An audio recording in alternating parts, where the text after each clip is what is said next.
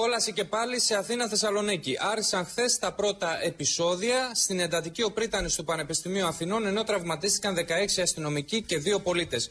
Προσήχθησαν πάνω από 500 άτομα και συνελήφθησαν 90, ζημιές υπέστησαν 22 καταστήματα.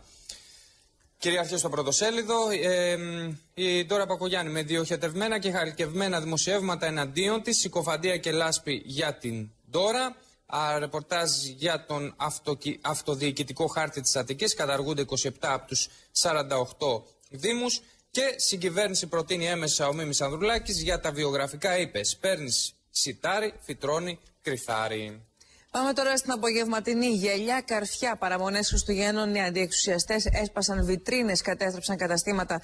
Πάλι το κέντρο της Αθήνας και της Θεσσαλονίκης. Στο ελαιό τους, περισσότερες από 550 προσαγωγές σε όλη την Ελλάδα. Περίπου 100 οι συλληφθέντες, μεταξύ των οποίων Αλβανοί, Ιταλοί και Ισπανοί αναρχικοί. 10 εξ αυτών στο αυτόφορο. Οι φωτογραφίες που βλέπετε είναι από το Πανεπιστήμιο που κατέβασαν την ελληνική σημαία, την έκαψαν και ύψωσαν τη δική τους, όπως σημειώνει η εφημερίδα. Είναι καρέ-καρέ όλη η διαδικασία. Επίσης, τα αθλητικά αριστερά Super League, η 13η αγωνιστική, ο θρύλος παραμένει μόνος στην κορυφή μετά την νίκη του στην Ξάνθη. Νέα γρήπη στους 32 η θάνατοι, ενώ αναμένεται κορύφωση της πανδημίας μετά μία εβδομάδα τα μαύρα διαμάντια στο παιχνίδι της πολυτέλειας. Συνέντευξη ενός κυρίου, δεν μπορώ να το πω, Φουάζ Γκρόζη, γιατί προφανώς δεν έχω βάλει ποτέ μαύρα διαμάντια. Δεν ξέρω καν να τα προφέρω. Πρωτοσέλιδο στο έθνος. Τα επεισόδια τράβηξε κόκκινη γραμμή. Δυναμική απάντηση της ελληνικής αστυνομίας στη βία των κουκουλοφόρων. Αποφασισμένος να αγνοήσει το πολιτικό κόστος ο Μιχάλης Χρυσοχοίδης. Είχαμε αλλαγή της τάσης αστυνομίας. Σε, σε λίγο θα δούμε αναλυτικά το σχεδιασμό. Εκατοντάδες προσαγωγές σε Αθήνα Θεσσαλονίκη. Συλλήψεις και από τη διεθνή των αντιεξουσιαστών. Έληξε τη νύχτα η κατάληψη στα προπήλαια. Ακόμη η έρευνα ρεπορτάζ της εφημερίδας Οδύσσια για καρκινοπαθή στην περιφέρεια. Σε Αττική και Κεντρική Μακεδονία το 89,9% των ογκολογικών κρεβατιών της χώρας. Συναφές στο χώρο της υγείας στο θέμα για τη νέα γρήπη. 13 νεκροί σε μία εβδομάδα. Και στο πολιτικό πεδίο, πολιτική θύελα για το Σκοπιάνο, άναψαν φωτιές, οι γκρίζοι διάλογοι εχμές κατά της πρώην Υπουργού, εννοεί την κυρία Μπακογιάννη, για ανευθυνότητα. Πάμε στον ελεύθερο. Έκαναν κόσκινο το σχέδιο Χρυσοχοίδη αναρχική τζάμπα μάγκας, ο πολυλογάς Υπουργός Δημοσίας Τάξεως. Στο στέκι των αναρχικών στο Κερατσίνη, τα παιδιά πρώην Υπουργού του Πασόκ. Έχει, βλέπετε, και εικόνες από το κέντρο της Αθήνας. Η ελευθεροτυπία, προστασία με αστυνομοκρατία, επιθετική τακτική από την αστυνομία, διαδηλωτές σε κλειό. Σάββατο λέει έγινε ρεσάλτο στο ρεσάλτο εντός εισαγωγικών το ένα του Κερατσινίου. Την Κυριακή κατάληψη στην Βρυτανία χτύπησαν τον Πρίτανε. Σε λίγο θα μας μιλήσει ο άνθρωπος που ήταν μαζί του τη στιγμή που μπήκαν οι άνθρωποι εκεί και τον χτύπησαν, αυτοί οι άγνωστοι. Ογκώδη πορεία τραυματισμοί διαδηλωτών από ομάδα Δέλτα και επιθέσεις σε 25 καταστήματα, ασφυξία από τα χημικά πάνω από 500 οι προσαγωγές.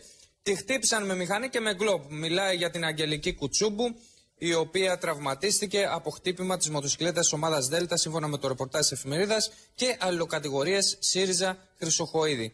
Στο πεδίο της πολιτικής, αγκάθια Ντόρα Νικήτας και Άρη. Αγκάθια και Άρης. Αγκάθια για τον κύριο Σαμάρα, έτσι. Πάμε στην ελεύθερη ώρα. Πριτάνευση εναρχία στην Αθήνα. Εναρχικοί, αφού κατέλαβαν την Πριτανία του Πανεπιστημίου, κατέβασαν την ελληνική σημαία, την έκαψαν, έστειλαν στην εντατική των Πρίτανη και ανέβασαν σημαία της αναρχίας. Η αιστεία, πολλαπλές επιπτώσεις από τα επεισόδια στο πρωτοσέλιδο, πλήσεται η εμπιστοσύνη στην ελληνική οικονομία, πολυδιάστατες τουρκικές προκλήσεις και έτσι διαλύθηκε η δημόσια διοίκηση σε άρθρα.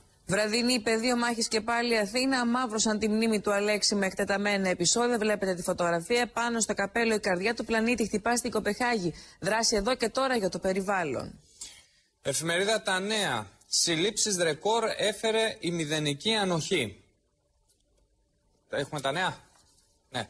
Η νέα τακτική της αστυνομίας περιόρισε τα επεισόδια, 540 προσαγωγές, 120 συλλήψεις και μια φωτογραφία ενδεικτική κατά διάρκεια των επεισοδίων, μια σύλληψη από την αστυνομία και η άλλη από Μολότοφ που είναι μέσα στις φλόγες ένας αστυνομικός, φωτογραφίες ενδεικτικές των επεισοδίων χθες σε άλλα θέματα.